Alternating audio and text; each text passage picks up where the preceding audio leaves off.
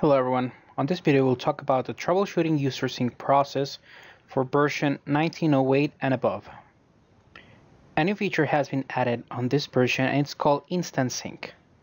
We'll also check on demand and checking the status of the process. Instant synchronization feature is available out of the box and it will run every time a user with previous configuration is added, updated, or deleted in the AR system. For a user to be added, it needs to have an email ID unique for each user.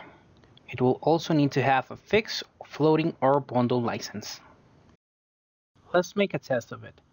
Let's modify this alien user. Let's first show how it is in smart reporting. It shows as Alan Albrook.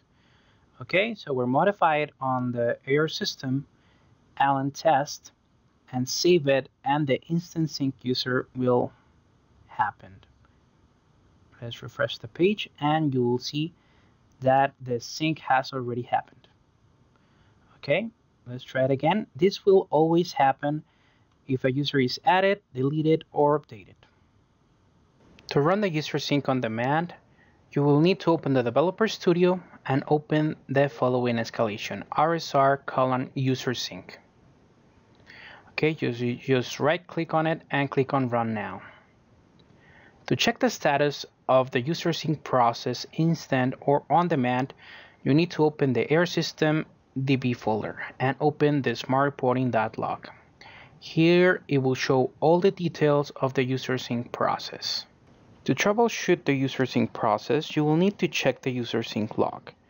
You can ch check the total result to verify if there are no errors on the log. Also, you will need to check that the filters regarding the user sync escalations are all enabled. If any of the filters are disabled, enable all of them, as this will make sure that the user sync process runs without any issue.